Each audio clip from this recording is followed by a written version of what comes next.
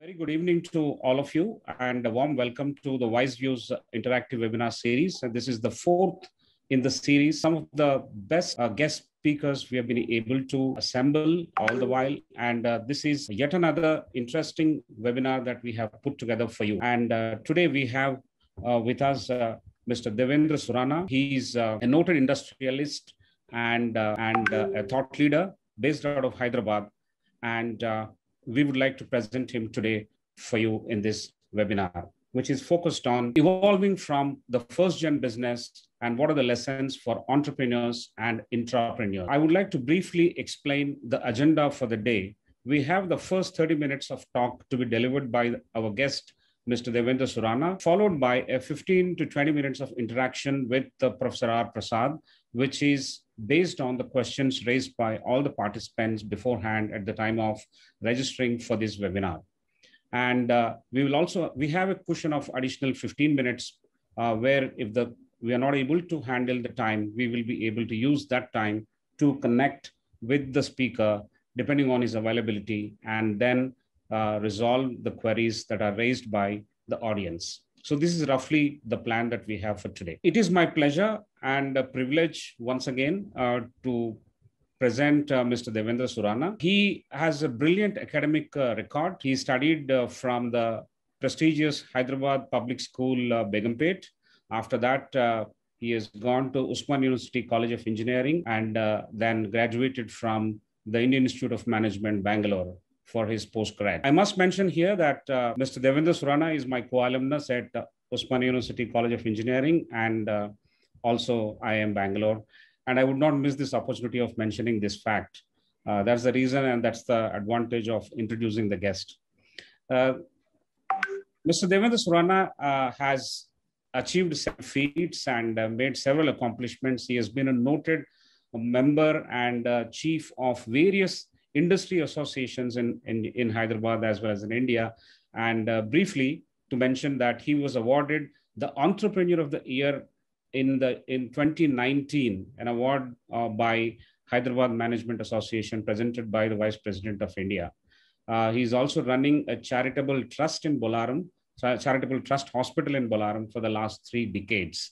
And currently, he's the managing director of Bhagyanagar India Limited, also director on Surana Solar, manufacturers of copper products, auto electricals, and solar photovoltaic panels, uh, and solar and wind power generation. With this introduction, I would now request I would now request uh, Mr. Devendra Surana to start his talk, and I will stop sharing the screen uh, from here. Thank you, uh, Sudhakar. As uh, always, a pleasure to uh, be in a gathering with you, especially since we share both our alma mater. As this is a topic on uh, lessons learned in my life, please bear with me because I'll be talking a little bit about my own life because without that, it becomes very difficult to share the lessons which uh, I have got. So, first of all, I must say that I was lucky. I am lucky. I am very, very lucky. I've got everything which I wanted without, uh, literally, without having to really fight for it or really work very hard for it uh, because of the family in which I was born. I was uh, literally entitled. I went to a very good school, which gave me a great foundation to go ahead and uh, achieve my higher education in both college and uh, the institute where I went to. And I remember my early days, even before my asking whether it was a cycle or clothes or anything, it was literally given to me before I really asked for it. So that's where, you know, I was an entitled child, but that is the first lesson which I learned in my childhood from my parents and my grandparents. The difference or the big difference for entrepreneurs or the children of entrepreneurs, the difference between entitlement and responsibility. So the lessons which I learned was this is not my entitlement, this is my responsibility. A responsibility that I've got all this given to me on a platter and I need to make use of this responsibility to ensure that it continues forward. And all the benefits which I got is not just for my own entitlement, but a responsibility to do good for the society, a responsibility to do good for my business, to ensure that my employees get better, and to ensure that this continues forward. I want to give an example in front of my child, my son, I wanted to order a TV. And I just called somebody and said, Look, I want this. And the next day, the TV was there in my house without having to really work for it. And I, my son then checked everywhere in the city. The price which I got, the service which I got was far better than what he could have ever achieved anywhere. And he said, This is fantastic. I said, This is what is the entitlement or the uh, legacy which we have earned from our parents. He has done it because my parents have done good for the society he has done it because I have a name. And he said, if I have an opportunity to serve you, I will be doing my best. So I wanted to teach my son that this is the responsibility which you get, that going forward further, you must get the same treatment and you must ensure that this treatment is carried forward. It is not the entitlement, but the responsibility which comes with the entitlement. I think the first lesson as an entrepreneur or a second gen entrepreneur is to understand this difference between responsibility and entitlement and ensure that it is the responsibility which we take forward and not the entitlement which we take forward. I've seen a lot of entitled kids who have spoiled their life because they feel that they are entitled to stuff and don't feel the responsibility to take the legacy. Then the second lesson, uh, the harsh second lesson is how do we celebrate failures? I joined my business in 1988, straight out of uh, college uh, after I did my MBA. I joined a thriving business and we did fantastic uh, business. The motto, even then, back in the 90s for our group was growth through innovation. We continued, growth continued year on year. But 10 years down the line, if I look back to my business, by the late uh, 90s, not a single rupee of revenue, which I inherited in the year 1988, was still available to us. Now, the choice was very clear in front of us. We could always blame the government, the recession, the you know the great devaluation which happened and so many upheavals which happened in the 90s and say look the government was bad and we couldn't do this and we couldn't do that all our businesses got changed but we had to keep moving forward we closed our old businesses and started new businesses and ensured that the new businesses gave us more revenue more income me and my brothers moved on to new new age businesses, whether it was uh, in those days fiber optic cables or uh, telecom equipment or so many other issues which we went on. So the choice was very clear for us. Shall we be a victim and say that, look, everything is working against us and we are not in a position to move forward? Or do we be an entrepreneur and see an opportunity in every crisis which comes forward? There is a saying the God opens one gate before he closes another. In today's world, in those days, and especially in today's world, for every one gate which is closed, 10 gates are being opened. The opportunities are multifarious. In every area which you look at, there is opportunity for growth, there is opportunity for doing better in life. But at the same time, the change is inevitable. Whatever businesses you are doing will face serious challenges every day, every month, and every year. We have to come over, overcome these challenges and also move on to new businesses if we have to succeed in life. And this, I think, is a very critical lesson which we learned. I learned very early on in my uh, business, and that is to celebrate failures. And this happens not only in a macro level when we change the entire businesses, but also in a micro level. If you uh, come to my factory any any day, there are at least three or four special projects which are ongoing every uh, day. And these projects are on a continuous basis. Every three months, our target is to start something new or a new way of doing business or a new component or new something. And believe me, the mort- uh, fatality rate or the mortality rate of these projects is very high. Almost 50% of this new ventures which we look at fail. The if we start stop to dissect why did we fail and who is responsible and what happened, we'll never be able to move forward. We only take the failures in our stride and celebrate the two, three, four new ventures which come out every year and say that we need to do more like this.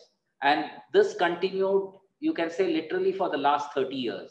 And that's the reason, even though the old businesses are dying very, very fast, we continue to thrive in a new environment because it's a continuous process of uh, renewal which we have at the factory. And believe me, I not only uh, give my maximum time to this type of new ideas or new ventures and ensure that there is full encouragement to the entire team who takes up this type of projects. Also, it's a fact that I enjoy this part of my work the maximum. So if I spend uh, the maximum time, it is on this project, the maximum reward I get in terms of my uh, satisfaction, work satisfaction also comes when this type of projects succeed. So that is one thing which I think every entrepreneur, every entrepreneur needs to look at is how do we do new things without sort of delving on the failures which are bound to be on the way. For every one success, there will be two failures when in any field which we look forward. So we need to keep moving on, keep celebrating this type of uh, successes and move forward. So the second lesson, which I'm very clear, is celebrating failure. The third lesson, which is slightly off track. So while I am doing two, three, four projects on a daily basis, I'm very clear that uh, multitasking is what most entrepreneurs keep doing. And they think that it is not only their birthright, but it is essential to multitask if you want to be a successful entrepreneur. One thing I've learned the hard way is multitasking is the enemy of productivity. While many projects can go on, but at one point, we need to focus only at one project and ensure that there is full clarity and focus and coherence for the entire team so that uh, you know people flipping from one project to another coming back to the first one and going back to the third one doesn't happen. And this is especially true as you go down to the shop floor levels. Multitasking at the lower levels is even big killer of productivity. If you get people to move from one project to another and back to another it will definitely ensure that he's not good uh, going to perform in any of the projects given to him so that is one thing which uh, I wanted to do. I've seen all the people I know talking while do, working on a document or looking at a TV while doing something else, talking on a phone and then, you know, uh, similarly interacting with somebody else. I think this is one of the biggest uh, failures which I realized maybe about 15 or 20 years into my uh, journey as an entrepreneur. I attended a, a, seminar on theory of constraints, and that's where we, you know, actually did a project on what, how bad multitasking is, and it opened my, my eyes multifold. I was a, a, video games freak. I played every game on the uh, phone, whether it is the Snake or the Tetris or anything. And if there is one productivity killer, it is a game on a phone. I think that is one thing which all entrepreneurs, all entrepreneurs, in fact, everybody should avoid. See, we need entertainment. We need to do things. We can play a video game on computer, which is not available to us all the time. But if you get addicted to a game on the phone, I've seen it really uh, kills your initiative and productivity. Um, why I am saying this, uh, there are a couple more points which I want to say when in multitasking. I was saying routine sets you free. It is con- counter uh, in, intuitive that a routine will set you free. But believe me, it is very, very clear. I have set a routine that all my normal, dreary, boring jobs, which need to be done, which cannot be avoided, are set at a particular time of the day. So every day, one hour I set aside for doing all my routine jobs. So any other, when the routine jobs comes and disturbs me at any other time, I say, no, that has to be done only in that window. So that I can keep my rest of the day free for creative works, innovative works, and do something which really matter for the business. So one hour a day, one day a week is what I keep for all my boring and dreary routine jobs, which must be done as an entrepreneur because you cannot get away from that. That is part of life. The second thing which you might have heard, but I want to repeat it, is most of us are working for a business. Most of the time we are working for a business. We are ensuring that the business is successful, we ensure that the deliveries happen, we ensure that the sales get done, and so on and so forth. But the most productive thing is when you work on the business. That means what do you want to do on your business in the future? How does your business look two years down the line or five years down the line? How much time can you spend working on the business rather than working for the business? Is a very important thing, especially for entrepreneurs at the top of the value chain. And also for entrepreneurs or leaders in the business, I have seen that, you know, even though the top people can do it, the second level normally gets stuck in the dreary day to day job throughout the day. It should not happen the second level leaders and the third level leaders also should work on the business to ensure that the efficiency and productivity in future goes. And the last saying, which is counterintuitive, you'll see that I'll be saying a lot of counterintuitive things which have stuck in my mind, which really don't make a lot of sense. I have a saying, you're the most productive when you're doing nothing. As leaders of businesses, we need to set aside time when we are doing nothing because great ideas, earth shattering ideas, only happen when you're doing absolutely nothing. Nothing means no TV, no phone, and no work which is happening. Just the thoughts which come to you when you're doing nothing is what changes the business for the future. So, this is another thought which I spend a lot of time doing nothing. And I feel that it is the most productive time for my business. The next learning, which is uh, which I think everybody says and which is much easier said than done is delegation. Delegation, delegation, delegation. For an entrepreneur and an entrepreneur to be successful, it is not his one mind or his two hands which will make him successful. It is the team and the team below the team which really builds a business. No one man, no group of small group of people can really make a business successful. So you need to learn the art of delegation to ensure that at every level in your organization, people are working as entrepreneurs. People are not working as just a pair of hands, but with a great set of mind to ensure that the business grows in which it is done. Like I said, it is much easier said than it is done. Especially moving from a first generation to a second generation, it becomes even more difficult. In the first generation entrepreneurs, everything is under the control iron fist control of the uh, owner, manager, entrepreneur. And it is very difficult for us to give up those that control. It is very difficult to give up control, but believe me, it is impossible to grow without giving up the control. So this is the great uh, thing which I learned much later in my life that without delegation, we cannot grow beyond a particular point.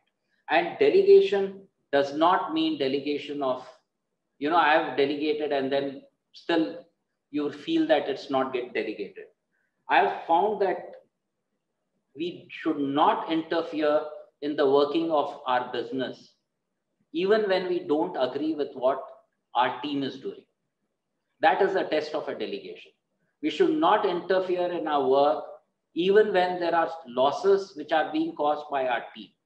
Because the minute you start interfering in those activities you'll find that all the decisions will be pushed up back to you.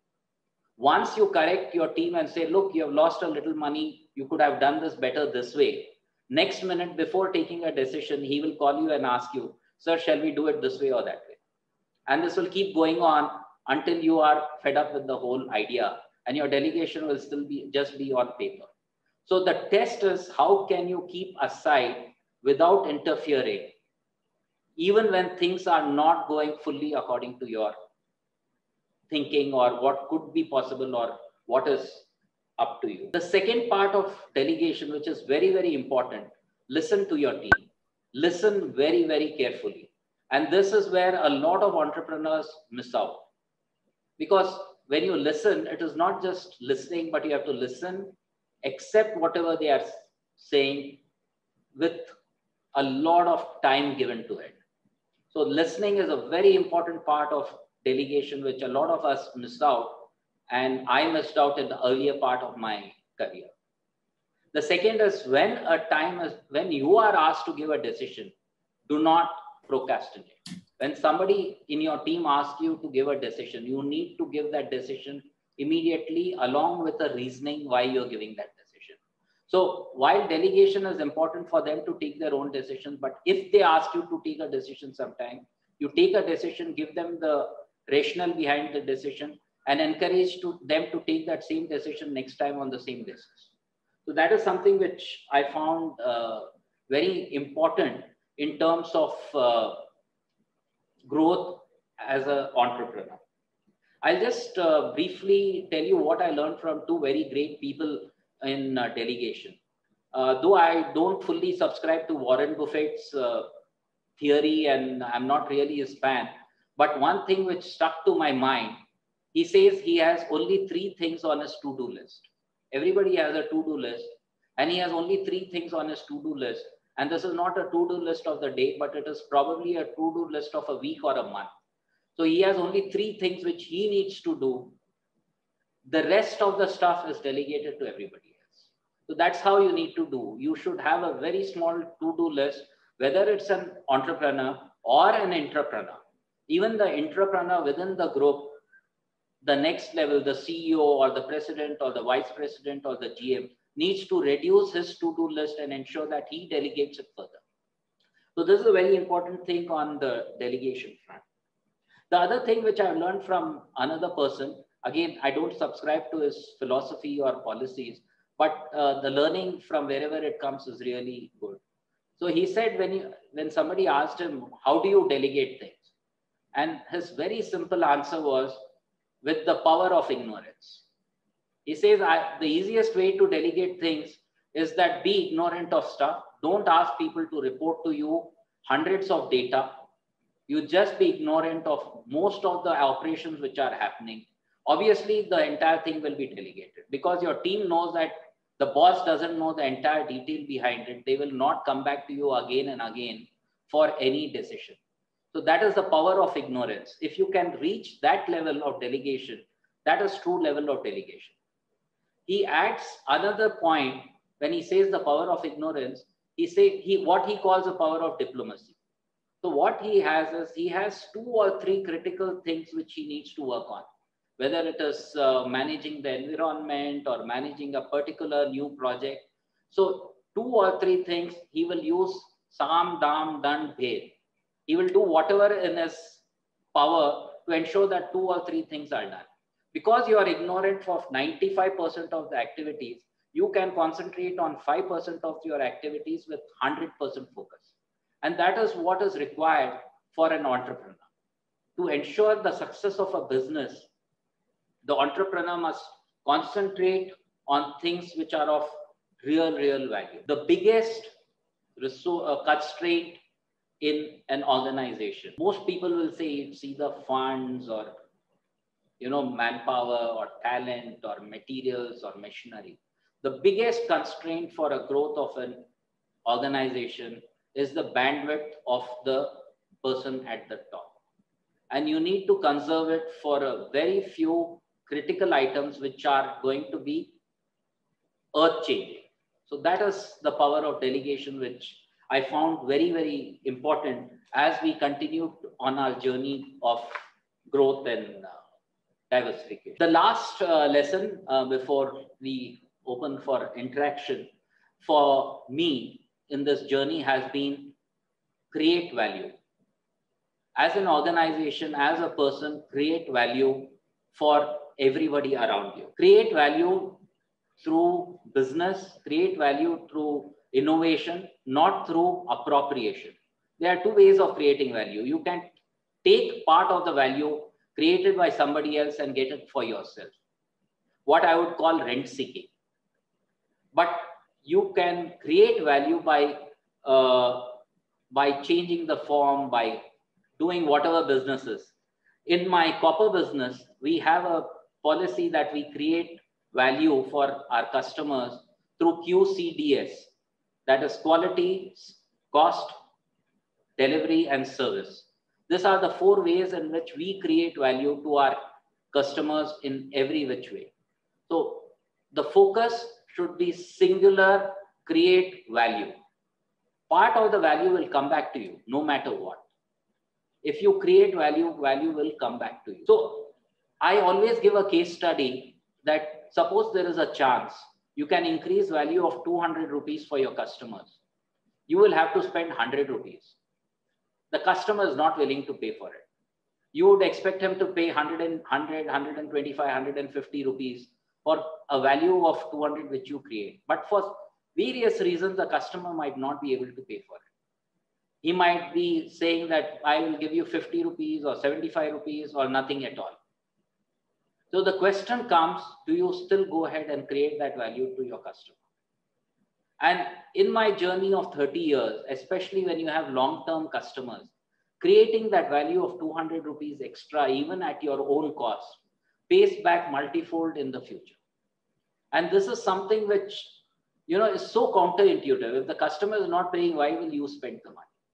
And that is some learning which I've found uh, that even in small businesses, B2B businesses, B2G businesses, even B2G businesses where the government sometimes just cannot pay you, it makes sense to do it because the value will come back to you sometime or later. Uh, one of the biggest examples of this is Google Earth.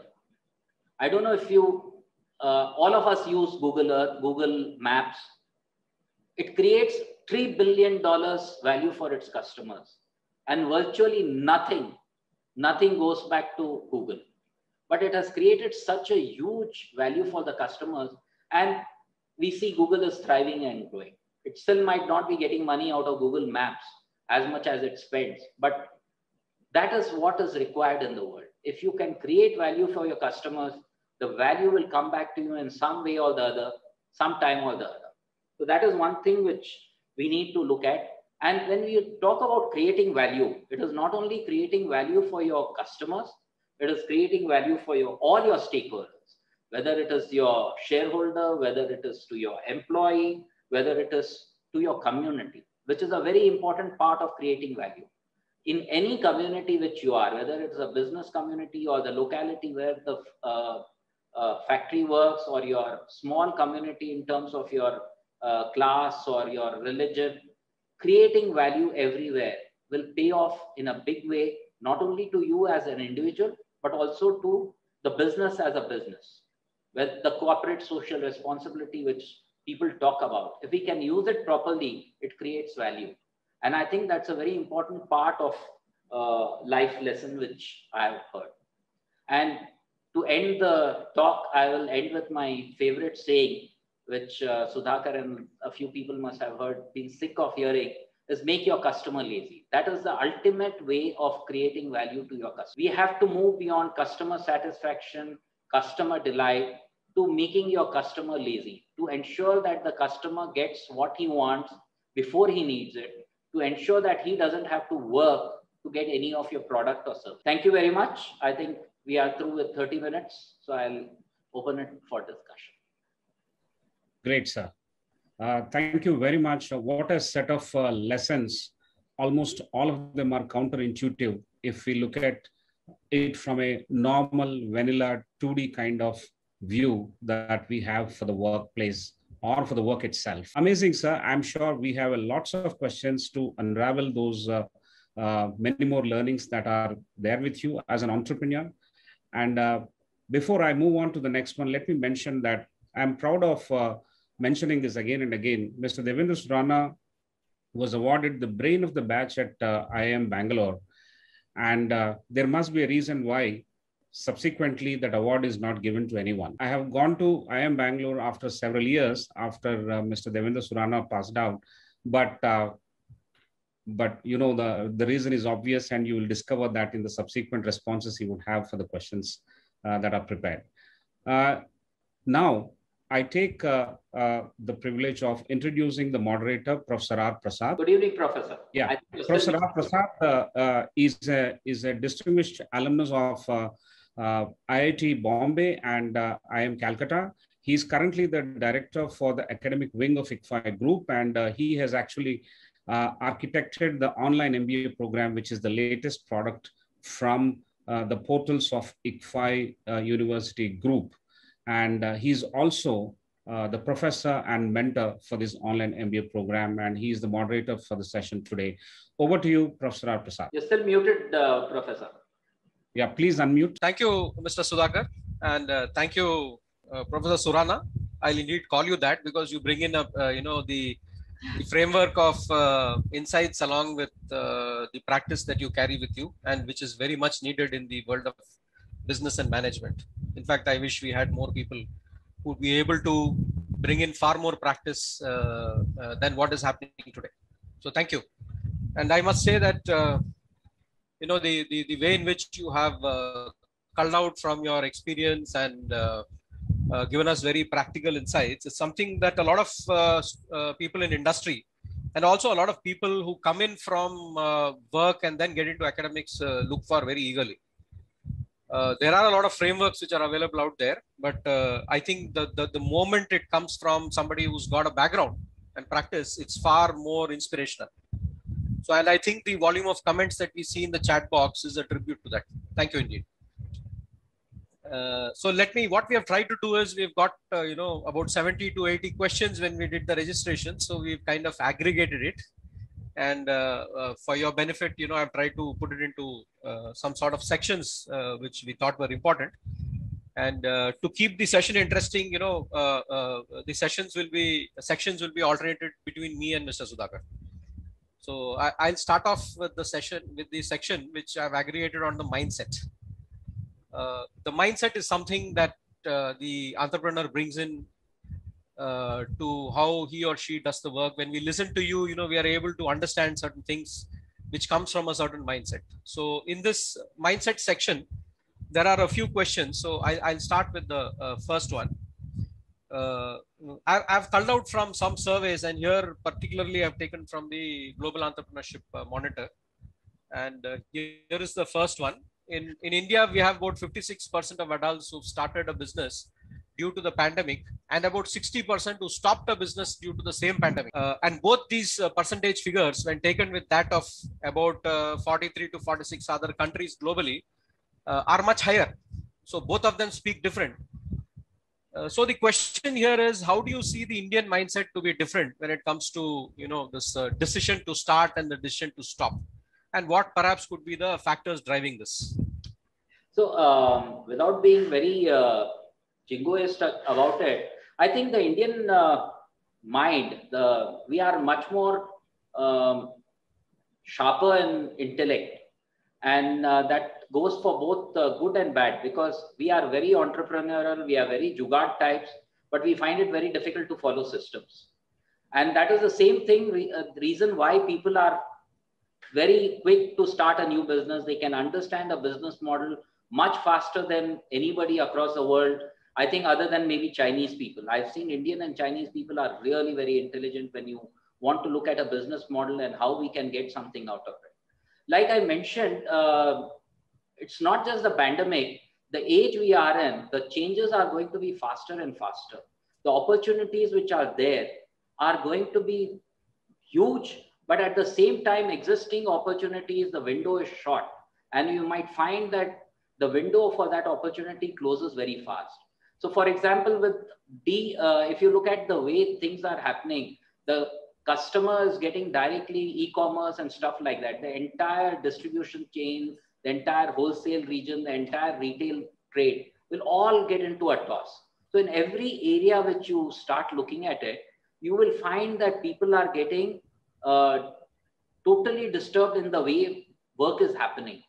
But that also means there are equal opportunities. So you'll see more and more cases where people get out of business and more and more places where people get into business and get a spectacular success out of business. So my advice, like I said in my own uh, presentation, we have got out of so many businesses over the last 20, 30 years, but we have started more businesses at the same time. So you need to, to continuously keep doing that. Thank you, Professor. I think that's a, that's a very, uh, uh, very, very encouraging way of looking at the situation. And indeed, indeed for the kind of uh, people that we have in our country, it, it quite uh, correlates. So, so uh, here we have the second question, and uh, I've just given some background to it. There are quite a number of questions which come up in this. We have, you know, about 83% uh, plus Indians who feel there are very good opportunities to start a business. This is findings in 2020 in the area they live in, and about 82% who feel that they have the capabilities, which includes knowledge, skill, and experience, to start a business and these uh, supposedly rank amongst the highest in the world amongst the same 43 to 46 companies Now, the, the other side of the story is that uh, there are about 57% of Indians who will not start a business for fear that it might fail, the fear of failure. And uh, this is the highest globally. Uh, coupled with this, the early stage entrepreneurial activity and established business ownership is also one of the lowest in India at about 11%. Uh, the intent to start a business in three years, of course, these are from surveys. So, you know, we have to take it with that kind of a filter um, uh, the intent to start a business in three years is only 20%. Uh, and this is also below the global average.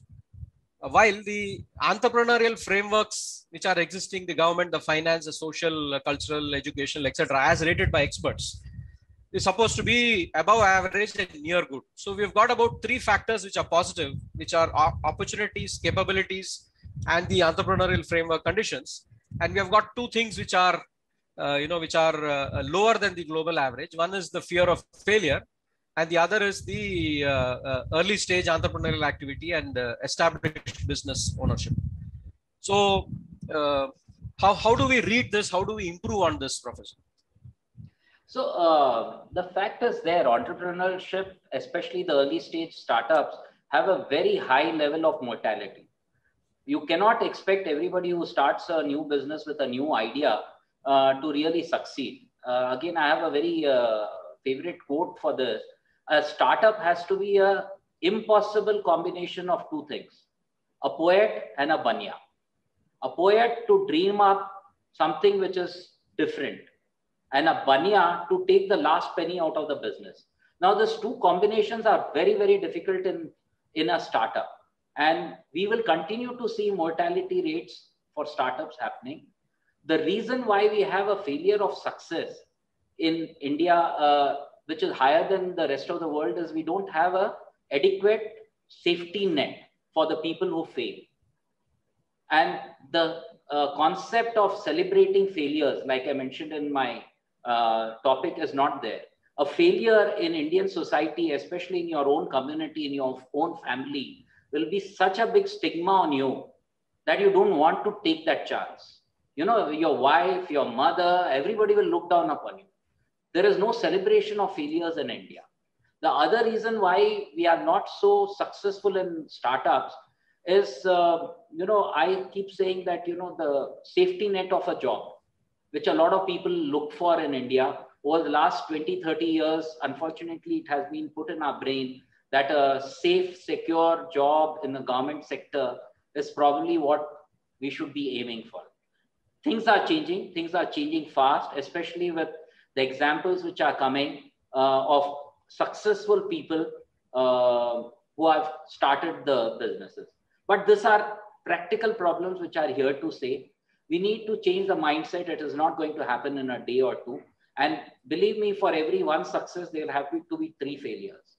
I'm talking of my own example in my factory on a daily basis but it's how you take it and how you move forward thank you prof I, I, I especially like the concept of you know the celebrating failures and the fact that in our society indeed indeed it is seen all around us that you know right from when one is young that if something goes wrong in school uh, you know in the in the marks and then you have the parents after the it starts there and then it goes on and i think that's a very vital uh, cultural aspect and uh, we need to see how we can improve on that the uh, uh, next question, Professor, is about, you know, there are two contrasting situations. These have come up from the questions themselves.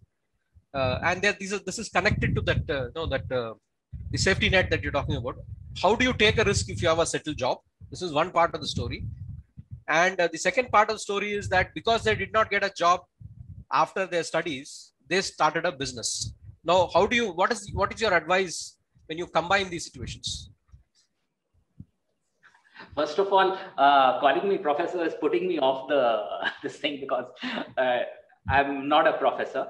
But uh, yes, um, on the see that safety net of a job, which uh, deters people from getting the taking the entrepreneurial plunge, is very very uh, difficult. But we have to understand an entrepreneur needs to continuously pivot. Uh, taking it as a last resort because you don't get a job is not such a bad idea because to succeed in uh, the, the, there is a saying, you know, that it's darkest before the dawn. So in every entrepreneurial organization uh, opportunity, if you talk to any of the big people, just before they became spectacularly success, they were looking at failure down the road. It's only when people become uh, passionate because of desperation that you will see that success happen. So you need that drive in people. I do. I wouldn't per, uh, look at a person who's happy in a uh, safe job. I wouldn't push him to get into a uh, entrepreneurial venture unless he has the passion for it. Because success in business doesn't come easy. It requires sleepless nights. I I have two things which I, I can talk from my own experience. Today I work literally two to three hours a day. Literally. But believe me, my mind is working 24 hours on the business. So that mindset of working 24 hours, continuously thinking how you can improve the business, what you can tweak so that the whole business can change is very much required for a successful entrepreneur. Physically working on in the business doesn't really give you the full success. So that is something which we need to understand. And sometimes a success in an entrepreneurial organization will happen only with the back to the wall. There is one uh, question which came, uh, which I find a lot of uh, people uh, keep asking me. We delegate our work to our senior employees and we train them and we ensure that they come to a good level, they keep working. And then they take not only uh, the job, but also the knowledge outside. And what do we do to such uh, a situation? We are afraid of giving our, you know, IP delegation because then there is a vacuum in the organization. You know, it, similar question, how do you trust somebody? Because anybody can uh, dupe you. I'm saying both have full risk, but you cannot work without that you have to ensure that your people stay with you for a longer time and whatever knowledge they get out of delegation gets institutionalized into the organization. So somebody work is delegated but you can also build systems around it so that the organization learns from it not only the next in line whom you have delegated work and whom you have empowered. The learning of that person should also get institutionalized so that you have to ensure that the delegation goes to the next level also. So if this person goes, the next person comes up with similar knowledge and comes up to that same level. You cannot come to a situation that we don't lose people. Yes, we can try to ensure that we keep our people. In my organization, I have a good track record of uh, retaining people for a very, very long time. And it comes not only from monetary rewards, but from other aspects as well. But this is a risk we need to take if we need to grow. I've seen a lot of entrepreneurs do not delegate because they're afraid this person will learn. Not only will he go away, but he'll also take my business secrets away. That's the clearest way of bringing down your organization and within five to seven years, getting into that victim mentality and closing down the business. We need to avoid that mentality at first. I saw that question in the chat box, so I thought I'll just reply. Thank you, sir. I, I acknowledge your uh, discomfort on the uh, professor designation. Thank you. Thank you. I'll, I'll, I'll uh, what we do now is I'll hand it over to Mr. Sudhakar and uh, he has a section that he will ask. Thank you very much. I'll now focus on uh, a different bucket of questions which are aggregated from the responses of uh, the members who have joined and they were quite eagerly wanting to know about uh, these things. Sir, uh, we have often heard that people saying that business is in my blood. So the question is, are entrepreneurs born or is it a skill that can be learned? So what are the what are the qualities and what are the skills that one has to learn if it can be learned? Uh, so the answer is uh, both yes and no. You are born as well as you can be taught. There are a few inherent uh, things like risk-taking abilities, uh, the ability of um, you know going beyond your uh, uh, comfort zone and doing business, which are very much required for entrepreneurship. But I will not uh, refute the fact that entrepreneurship is in my blood is a true saying. So, talking from my own experience, right from the age when I was probably about 10 or 12, it used to be my job to connect calls for my dad and uh, give it to him with business entre- uh, people and then I used to hear how he used to talk to business people, how he used to discuss uh, what's happening in the factory. And that definitely gives people from business families an edge because business is there not only not really in the blood, but it is there on the dining table, it is there on the uh, play area, it is there everywhere. Around you, you can see the business happening, and it gives you a much better aptitude for business in future. So definitely there is a, a positivity there. But given a few basic things, I think entrepreneurship can also be learned very well and much later in life.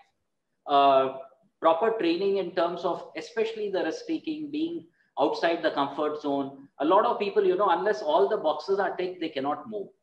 So um, entrepreneurs need to move without having the entire data in their head.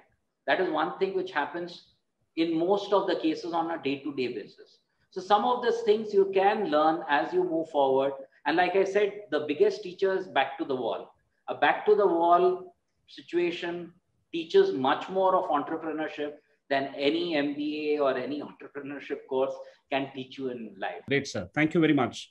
Uh, I think uh, that gives a, a, great deal of clarity for those who want who are wanting to start up.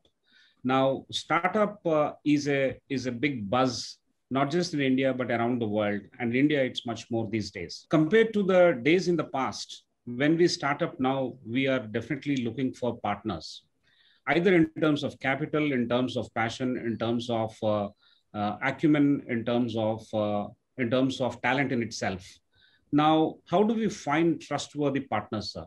You have any clues or any hints for us? So, uh, you're talking from a, a venture capitalist uh, pers- pers- perspective or the entrepreneur's perspective? Entrepreneur's perspective.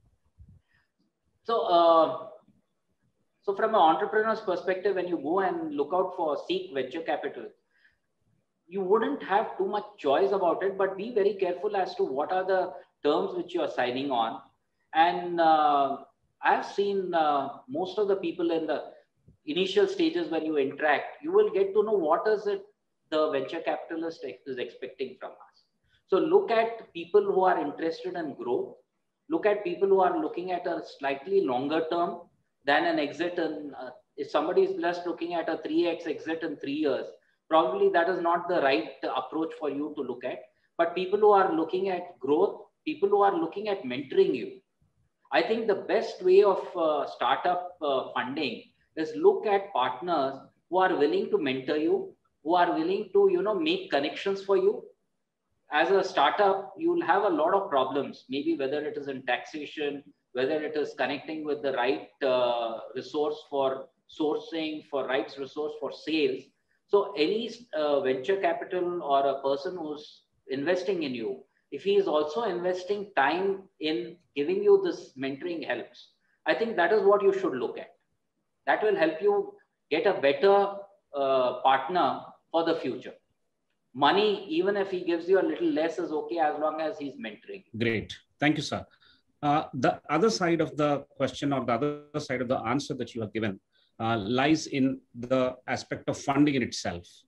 Is it easier to get the bank loans or to raise funds from, say, venture capital? Uh, and, and given the fact that RBI has cut the interest rates, is it helping? If it is, to what extent it is helping for the startups to raise uh, funds?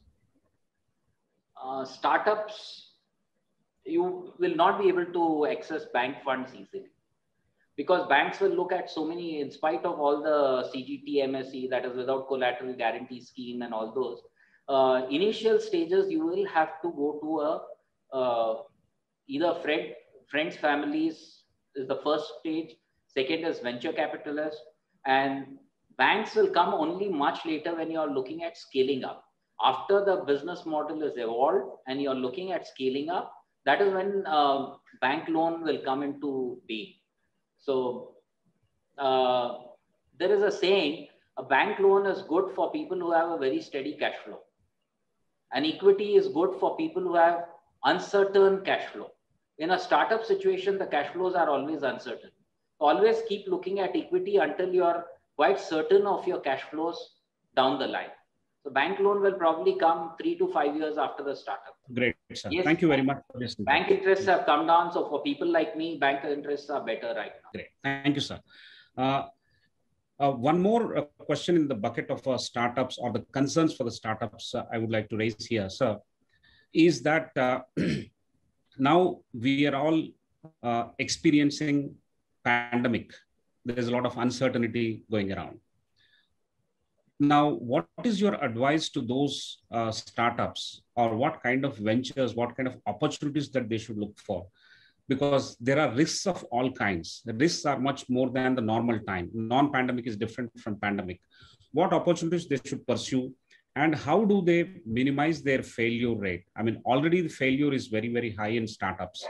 And in such ventures, as you mentioned in your talk, uh, for every success, there are more than two failures now, how do they manage the risk? How do they minimize the risk? And what are the survive and sustain strategies that you advise them? And if they, if they already have launched the venture, how do they survive and sustain? This is the set of questions that we have for you, sir. Tough question, uh, Sudhakar.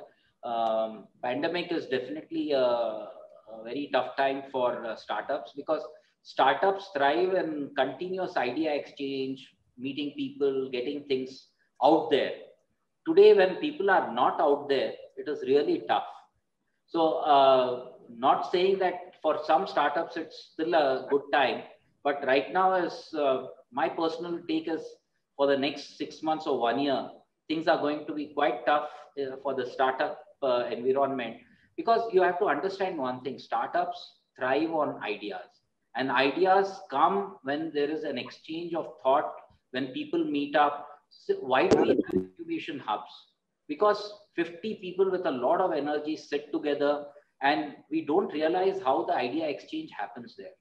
All of us are thinking of different ideas, but so many of the basic concepts are same. And that is why it is very important to have this, you know, um, startup hubs and where people of startups meet, they interact, maybe just have a meal or a drink together that is where the ideas happen. And today, unfortunately, until this pandemic is over, hopefully it will be over in six months to nine months, it is a tough scene.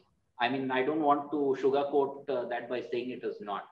Um, depending on each individual startup, there might be some startups which are still good for pandemic, you know, things which now, for example, e-commerce, delivery, and all those things, areas are really picking up. So areas which help in those type of services will definitely be a good thing for startups where social distancing is the norm where people cannot move around. So if you see the dunzos and the rapidos they are making great strides now. So those are easy names which i have taken. But if your business or your service model is more towards helping people stay away from the crowd it will be more successful but if you are dependent on more crowdsourcing or getting people to meet people it is tough time. No sugarcoating thank you sir. That's that's a great deal of direction for all of us. Uh, i will now pause for a while here and i'll hand over uh, uh, to professor r. Prasad for the next bucket of questions. Thank you. Thank you uh, mr sudhakar. I hope the audio is on. Yes it is. Uh, this this section is related to uh, entrepreneurship and intrapreneurship and just for the benefit of the audience the entrepreneurial employee or the intrapreneur is someone who develops business activities as part of their job. So this could involve activities such as creating and launching new products, services, or a process, or it could, or it could mean establishing a new business entity. Now, uh, this again, you know, if we if you look at uh, India compared to uh, the rest of the world, uh, the level of entrepreneurial employee activity in India is, is, is pretty low. It's at about uh, 0.3%, which is one of the lowest amongst uh, all the uh, economies, uh, 43, 48, 46 economies surveyed. So um, what do you do to increase this figure? I mean, how do you, how do you increase such a figure in this world of change? So uh, this is, this is, this so is the, the entrepreneurial uh, employee is actually more important than the entrepreneur himself. And for any entrepreneur to be successful, he must have not one, but a set of entrepreneurial employees. And believe me, I have seen uh, across businesses, small and big, every business has entrepreneurial employees. The problem is it gets stuck at one number one, two, or three, and that too at the top level. At lower down the level, we don't find entrepreneurial employees the people just below the entrepreneur are typically typically on entrepreneurial in India, if you look at the MSME and stuff like that, the chief person under the hand is entrepreneurial, but he has a lot of, he becomes a control freak in future. That is where I think we have to move beyond the first level of entrepreneurs to a second level of entrepreneurs, which I don't see happening in many organizations in India. I agree to that part of it. So how do we do it? Uh, my presentation, if you look at the delegation and looking at success, uh, celebrating failures, is all about that. Only if you can delegate without asking questions, you will create entrepreneurs. The minute you start asking questions, why did this go wrong? You will stifle that entrepreneurship, which is inherently available in the Indian mindset. Let me be very, very clear the Indian mindset, the Jugadu mindset of Indians has full entrepreneurship fully packed into it. It is being killed by the way we control our people. And I've seen it many times across industries. The first level of employees become entrepreneurs, but they kill it in the second and third level. So that is where we need to institutionalize that habit of uh, celebrating uh, failures, of not commenting on mistakes. Even a simple comment that this was a mistake means next time before he takes an action, he'll come back to you and ask whether I should do this or that. And that's the end of entrepreneurship. And entrepreneurship need not be just, you know, uh, doing a new product, but it is also a new way of delivering the service, a new way of, uh, you know, getting things done at the lower level. So that is also entrepreneurship. It need not be just a new product or in a macro sense, uh, becoming an entrepreneur. Even in smaller ways, they can become entrepreneurs, whether it is a maintenance team. And I've seen, you know, the entrepreneurship happening maximum in the maintenance teams in India. They are really good at uh, Jugaad work. The maintenance teams are the teams which really, you know, work on the site and get things done we need to just encourage it that's it. Thank you sir. I think you know the point about uh, uh, a lot of uh, people being control freaks and the point of uh, uh, delegating and then celebrating failure is, is the big takeaway there. Uh, the, the next query is no basically arises about if you want to build you know organizations which adopt a growth and innovation mindset uh, how do you instill this mindset in executives? In a manner of speaking, you have already addressed it in the previous question, but then would you like to add to it? Uh, see, you have to make it a way of life. Um, right from top to the bottom, we need to keep looking at it. And uh, if I've realized one thing, you know, what uh, the top team focuses on gets done.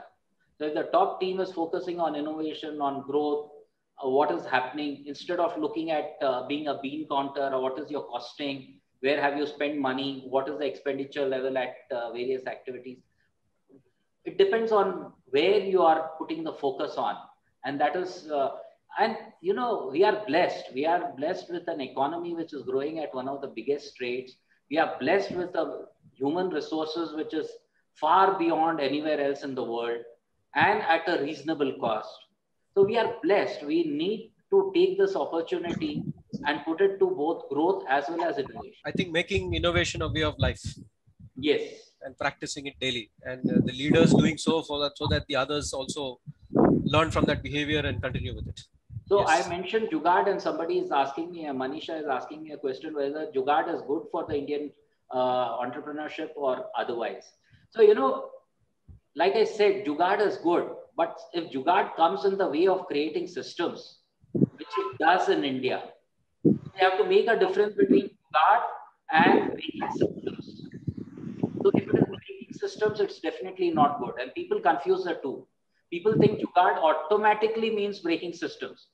In a way, it is short-circuiting systems, but that is where you have to make the difference. You have to take the Jugaad and ensure that it is systemized in the whole system the thought process with Jugaad comes in the mind of people as Jugaad means no system. And to a certain extent, right. But we need to institutionalize the whole system to ensure that suppose a Jugaad works, ensure that it becomes systemized. Not that, you know, uh, typical way of jugaad. There is no plug on the wire and the person takes two wires and puts it in the socket. That is jugaad. But if you are institutionalizing that jugaad, it is the most dangerous thing. So that is not the jugaad which I'm talking about. You know, sometimes people confuse, but jugaad, suppose you are making a new way of doing things with much less resources. That is my definition of jugaad. Getting things done with less resources, not with a shortcut of systems. That is what is jugaad, which can lead to innovation. I thank hope... you, sir. Uh, thank you also for answering the, the, the related query which has come up in the chat box. Yeah, yeah. Uh, here, you know, I can't help but recollect our late, late founder, uh, Shri N.J. Yashaswi. So I remember a small episode, you know, when I was joining, I joined up after about 10 years of an entrepreneur, being an entrepreneur. And then he asked me, uh, the, you know, uh, uh, one of the questions I remember very clearly, which he asked me is, uh, do you think you'll be able to adapt to systems? Uh, yes. So I think, you know, it very well connected to uh, what you're saying. Thank you, sir. Thank you. By the way, I have interacted with Mr. Yashaswi way back. I mean, probably in the first year of my working and did learn from him. Thank you. Thank you. Then there's a direct question from one of our uh, very esteemed colleagues, and that is, you know, how do how do executives learn from entrepreneurs? How do executives learn from entrepreneurs? This is um, within the same organization. There is, of course, the leadership impact happens. So, um, what the leader of the organization typically moves down the line, but you know, entrepreneurship can teach people across geographies, across histories.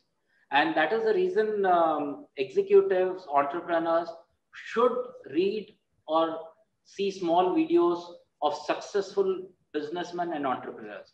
Whether it's Steve Jobs, I've quoted a couple, Vedanta, Anil Agarwal, and uh, Warren Buffett. You might not agree to whatever they say, but you'll always find nuggets of information which are suitable to you which will improve your whole learning. See, when you are learning from entrepreneurship, I don't want you to do hero worship. Use your own mind to say that, yes, I mean, look at that brilliance of Anil Agarwal, power of ignorance. He's running such a big business and he says, I want to be ignorant of what is happening in my business 95% of the time so that I can concentrate my 5% on things which really matter. So content so you can learn from that type of things when you see their short videos. Reading might be a good option and it's not in fashion nowadays but i would always recommend reading. Uh, but small videos ted talks you can learn from a lot of these things when uh, you see their interviews on tv um, follow follow big business people whenever they talk on tv or anywhere. And you might get a small nugget of information. And believe me one small nugget of information is enough to change an entrepreneur's life.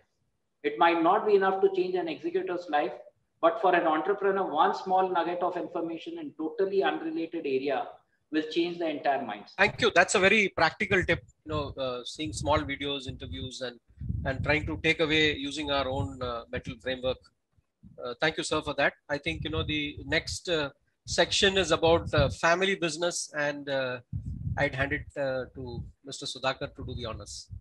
Uh, I was, uh, my mind was actually meandering around uh, the Jugaad thing because Jugaad evokes lots of questions. Uh, but then uh, Professor Prasad has asked me to look at uh, family business. sir, one question I have, which is actually reflecting the aspirations of many members who have joined today is that uh, uh, supposing I have a family business, like the way you have family business before you ventured out to study your post graduation in management, you already had an established family business. Supposing I have a family business, why should I join my family business? Are there any advantages to start with? In the sense that it is a tip that you're giving somebody who already has a family business, why should I join? And the second question is how do I scale up or how do I evolve from there from the first gen business? What are the tips? What are the what are the lessons or what are the uh, important things that I have to keep in mind when I scale up from my first gen business? This is the set of questions for you, sir. Thank you. It's a whole uh, chapter. the answer of uh, joining a family business. Uh, but uh, I have a strong feeling on that. I've seen a lot of my friends and uh, relatives who don't want their kids to join their family business. They feel that the business is not worth joining. And to them, I want to give this message that you're mistaken. The grass is always greener on the other side. Joining a family business for the new generation person is most likely okay. In most cases, okay, let me put it this way. In some cases, it might not be okay, but in most cases, it should be good. Um, the first generation entrepreneur feels that I've gone through this rigmarole. I've done, I've managed the tax people, I've managed the customer, I've managed the, you know, suppliers, I've managed the finances. It's too much of tedium for my children. I think they always feel that the grass is greener on the other side. Even when they do a job, it's going to be equally difficult. Joining a family business is a big advantage for people. It was a big advantage for me. First, let me give my example. It gave me a great platform to start off from instead of starting off from scratch. So if you look at a successful family business graduating, the chances will become 50% higher than a startup succeeding, succeeding or failing. So as a startup or a family business growth, family business growth will be more likely to be successful. So I would personally feel that joining a family business is great.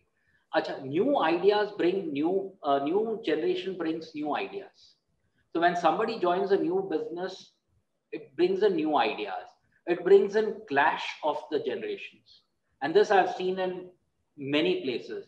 The only way to solve this is having a proper respect for each other um, typically, I've seen many places where the son is afraid of the father. He thinks the father is all old dated, but he cannot do anything. The old man thinks he doesn't have the experience, he doesn't know anything. So if you have that mindset, that mindset of family business is much more difficult to succeed than a mindset where each of them understand the benefit of the other. The youngster has to understand the experience and the hardship which the old man has gone through and which brings in a lot of value to the business. And the old man also has to understand that things are changing and changing very rapidly. And without new ideas and new ways of doing business, the business cannot thrive and grow.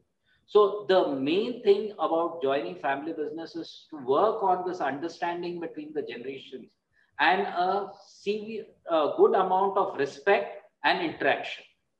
This is very difficult, far easier said than done. I mean, I know I'm sitting here and saying it, it's so easy for me, but this is the area which needs to be worked on. But I still sincerely believe that 90% of the family businesses are worth joining, worth scaling up, and worth flipping. So, you know, when I say you join the family business, it doesn't mean that you go and join the family business and sit on the same chair and do the same thing that your father did. You can always look at new ways of doing it. I mean, I'm just giving an example, very cliche example of get, taking a business online. I'm just giving this so that it is a it is a very cliched example, but there's so many new ways of doing things. Once you are in the business, you'll realize that there is technology can be used. The way thing, uh, the world has evolved can change the way the business can be done, and the way you can search the entire environment. Uh, I've seen the elder generation is so afraid of the computer, but a young generation will find the information in a jiffy. So those are the things which we need to build up. Fantastic, sir. Uh, I, am going to ask you one personal question before I hand it so, over to uh, I'll just answer one question, which is in the corollary question on the family business. What if yes. the family business have brought the product to maturity stage and the next generation takes the takes up the business at that stage? So I think this is the example which which I started. I came into a thriving business which was growing very fast. 10 years, there was no business left. So you have to keep growing on the business, getting into new parts of the business. It's not that, you know, I just totally went out of the same business uh, environment, but the products and the services which we are doing were gone. So I entered in that business phase itself, in my own business. We need to keep evolving along with the market, see what else can be done. So it's uh, the simple thing which in management classes which you talk about horizontal integration, whether you can service the same customers in a better way. Can you do something to your raw material? Can you do something with your finished product and get into a value added product? Or can you use the same technology and do something else? So with the same business in the majority stage, you can look at these four areas where you can take the expertise of the business and move somewhere else. So in our cases, we took the same customer, we took some technology and moved on. We took some raw material advantage and moved on, but the business got, went off. So every business has some advantage which takes you into the next phase of another business. I hope that answers uh, Srija. Yes, sir. I, th- I think that's a brilliant answer. And uh, on one hand, it has kicked away my own question. But let me dig deeper. I was planning to ask you something about uh, yourself, sir. Sorry. Uh, I, I, was uh, I was planning to ask you something about your own family business. Uh, the question is, what did your father or grandfather or your family uh, do to make sure that you come back to your family business? Is there any set of things that they did for you? The other side of that question is the other side of the question is also uh, I know about your son. Do you think he's going to join your family business? And what are the set of things that you are doing to attract him back into your business? So, uh, as far as myself, I don't know whether uh, See, we are talking about late 80s when a job was less attractive than it is today. So those days, a job was not really an option for somebody who had a family business. Today, the set of uh, parameters are totally different. Uh, and what did my father, grandfather, they exposed me to the business right from early on, took me to the factories, offices, whenever uh, time permitted based on holidays or, uh, you know, just whatever is there as far as my son is concerned, I was very clear right from the beginning that he's free to pursue whatever he wants. But a little nudging, like you know, making do making him do an internship in the factory, let him go to the factory and interact with some people, creates an interest and awareness, and also gives him an opportunity to understand that he can create value in that business. So my son did a project as internship uh, in his 11th class that project became a success in his school and it got him an admission in his college. And so automatically is inclined to see, yes, I can also create value in the business. It's not just that, you know, like I gave that example of entitlement and responsibility. I don't want him to feel that he's entitled to inherit the business. But it, if he has the responsibility to grow the business, then that is what uh, should bring him to the business. Whether he can ensure that he can do something more to the business. So that's what I've done, and hopefully it's there. Thank I you, sir. Thank you. Uh, hope so. Thank you, sir. Uh, over to Professor Prasad for the next dimension of questions. Thank you, sir. You have uh, excited us with this concept of the adjacencies in the existing business and the value chain where, where a lot of things can be done. And I think that is a very, very practical suggestion. And uh, both for entrepreneurs as well as uh, perhaps uh, people from family businesses. Now, I come to the section on education and learning. And I think, you know, the you have yourself gone to IIM Bangalore, done a program in management, and a lot of BAs, a lot of engineering colleges. And there is a question also about whether we should start something from schools, when we should start, what we should do. So I'll just, you know, uh, uh, give the context, integrate all the questions because we are at about 748 and we have already overshot our time. So first thing is, you know, uh, what should MBA programs do to develop entrepreneurial skills? And uh, the other thing is, can we start much earlier, whether it is in school or, uh, you know, uh, degree, etc and uh, how do we uh, uh, encourage more people to do uh, services related kind of uh, entrepreneurship? Because there's so many mba colleges and uh, engineering colleges and how, what, what, do you do to inspire all these students this is the set of questions comes under learning and education a lot of questions um, let me try and answer some of them first of all let me be very clear, and I think uh, other than a very few, less than 10% of the people who go to colleges will agree with me that what you learn in the college, you forget immediately. The only thing which come, remains with you is how to learn to learn. And that is a lifelong journey. If you are confident of learning new things, if you are confident of uh, not afraid of learning new things, I think the job of education is done. Very few people, whether it's engineers or managers, actually use the theory taught in class in the practice in business. So there is a saying, I have learned engineering for four years. And after doing my engineering, the only thing I engineer is engineer people. That is manage people. So that is what is a practical situation of uh, learning. What can you do as a MBA college to en encourage entrepreneurship? So I think uh, entrepreneurship can be inspired more than educated. So while you can teach the um, uh, thoughts of um, entrepreneurships or the um, tenets of entrepreneurship, what makes a successful entrepreneur, passion, energy, risk taking. But I think what is going to uh, most likely connect is ex exposing your students to entrepreneurs. How you can expose students to entrepreneurs is a question which comes. One practical, uh, one way most of the people do is go and do some projects in the society, ensure that you use your pull as a institute, make them interact with a couple of entrepreneurs here and there. That is one way of doing it. Getting entrepreneurs to your college is okay, but these are still have limitations and bounds.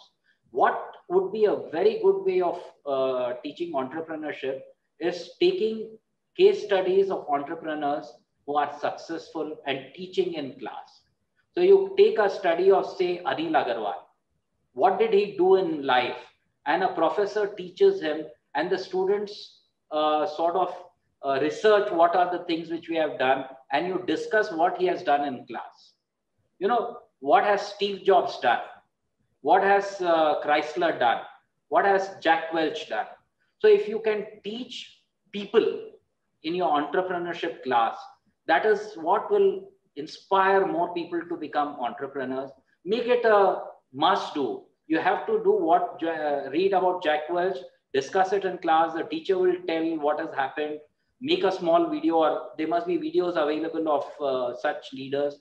Show that video for half an hour, 40 minutes, and let the people discuss what you learn from this entrepreneur. What are the tenets or the facets of this entrepreneur which made him successful? And in spite of what feelings, he was still successful.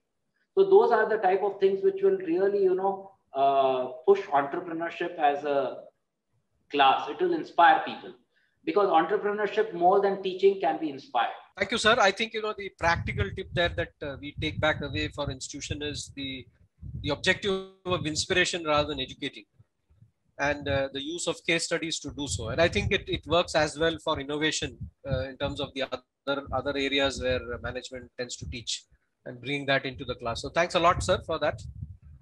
Um, I, I, I, get back to Mr. Sudhakar. This is the last section on uh, gender.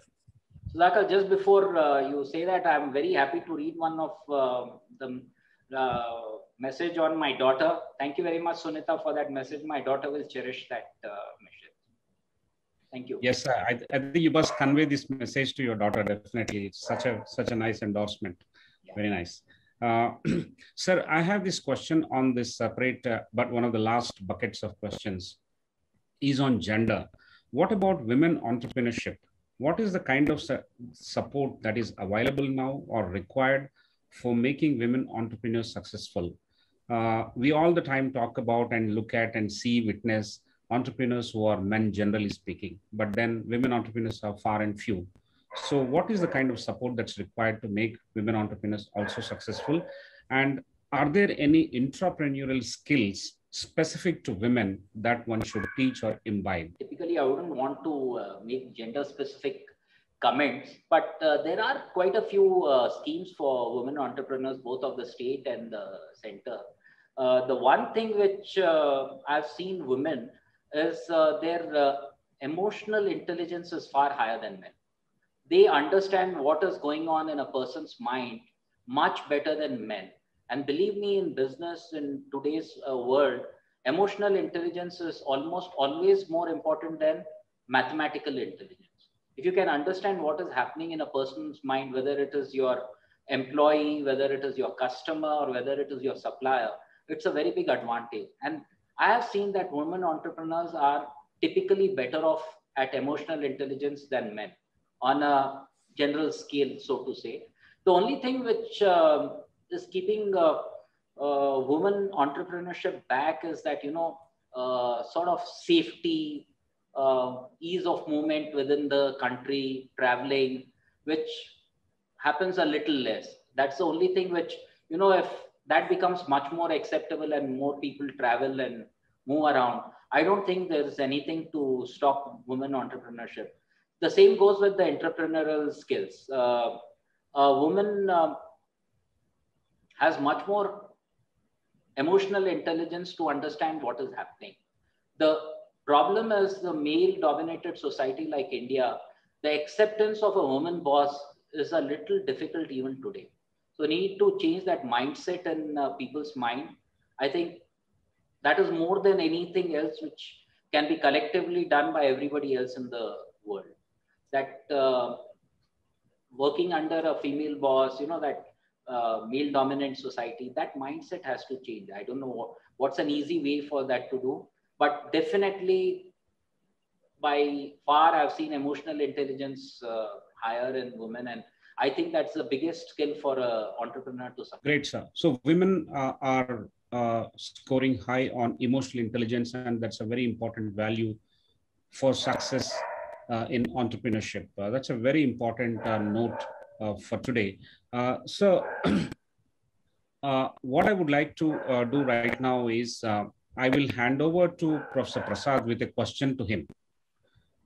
The question to Professor Prasad is we have had one and a half, roughly one and a half hours of session today a uh, lot of learnings, a lot of insights, and uh, very good examples and analysis that has been done on uh, carefully drawn questions that we have presented to the guest.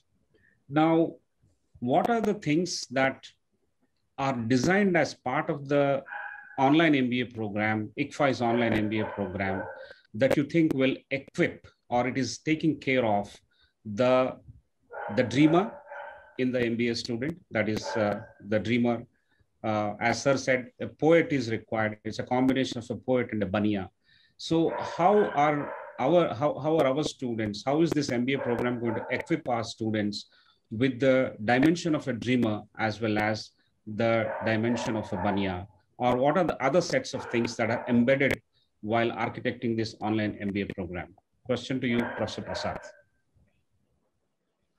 Thanks, uh, Mr. Sudhakar. That's a very interesting question, and you've given me a framework to respond. And there are many, many takeaways from uh, today's session. In fact, you know, the, the the entire journey through a learning program, if it becomes, and particularly a business program, if it, it, it becomes a journey to launch an innovation or launch an enterprise, and you got the comfort of two years to, and so many colleagues, whether senior, junior, and the exposure to uh, the corporate, if, if it is turned out into that, I think that is something that we can do better than many others. I think that's something that we should think about. And we, we have planned our program in that particular fashion. So we've got this practicum at the end of the, in the fourth semester, which is basically to target all that learning and then try and showcase an innovation if you're an entrepreneur for your organization and try and showcase a startup by the, if it's too good, you can sell it right away. Or if it's, you know, you can get a funder uh, try and see what you can do. Start that imagination right from day one. And we have always been saying that imagination is far, far more important than knowledge. And the knowledge is good, but if you're able to connect that knowledge to imagination and you're able to build around the context that you work in. So for a lot of working executives who do our program, uh, they already have a very rich context. I think that uh, Surana sir has drawn in by talking about those adjacencies in the value chain where you can you can connect and a lot of things that we do it's actually you know it's not that it doesn't have the potential but having seen both sides i can say that you know the, the conceptual framework of management has come from practice it has not come from something else so there is a potential in the classroom to connect it in a variety of ways and uh, we have tried to do that uh, through the thousands and thousands of micro cases and nano cases which are essentially small nuggets like 3 minute videos 5 minute videos some example of something happening somewhere else. This is just to set a stage for the person to bring in and imagine, and then discussion is needed. So if the classroom triggers that as what can be done outside the classroom, and then you're able to bring it into the classroom into a discussion forum, whether it's online in a discussion forum chat or somewhere else. I think that sets a, a, kind of you know a chef in motion. The, the person who's doing the program eventually has to become a chef. So chef is where you need both. You need the art as well as you need the business. So you need to you, you need to have that kind of a mindset. And certainly it is learning to learn. I mean if you do that then you may not start that business. But i think your mind gets tuned in such a way that you you you will know how to come up with uh, startup ideas and you know connect to it as well as deliver on it. In brief this is what i would like to pitch in as far as the program design goes. Now it is 8 p.m and i would like to with your permission conclude uh, this webinar. And i must say that uh, mr devendra surana has really made this a blockbuster session. It is so engaging. I mean um, my interaction with uh, uh, Mr. Surana is not the first time and it's not going to be the last one. But every time I have interacted, both in person as well as across the screen, uh, new sets of learnings have always emerged for me. And I'm sure it is the same for all the members of the audience who are presently around the screen and also who are watching this live on different modes. So uh, it is a brilliant way how you have crafted the journey of your business evolving from the first generation to the second generation or third generation. From there on, it has become like tuning it to the realities at that particular time because you have always floated four five new ideas and made sure that you know at least one or two emerged out of that and this has been a continuous exercise so you have very well crafted and given us several tips on how to manage from first gen business to uh, the second gen business and as well and actually imbibe a set of values and uh, those counterintuitive tips to become a successful entrepreneur, even if you're working within the organization. Entrepreneurship is more about risk taking and ownership, whether you work for your own organization or work for some other organization. I think on this uh, grand note, with all your permissions, I would like to conclude this and thank you once again for delivering a wonderful talk and responding to all our questions in a brilliant manner. Thank you very much, sir. And I thank all the members of the audience for joining and also patiently listening to the entire conversation beyond the time uh, that we have set for ourselves. So uh, thank you once again to everyone. Please take care, stay safe, and do double masking if you have to go out. It's anyway lockdown. You may not have to go out, but just in case there is an emergency, please wear double mask. Inside, it has to be N95 kind of mask, and on top of it, a surgical mask. And extremely, extremely important is to take care, and only when it is really, really required, do venture out. So, wishing all the best for all of you and your families. We sign off. Thank you very much.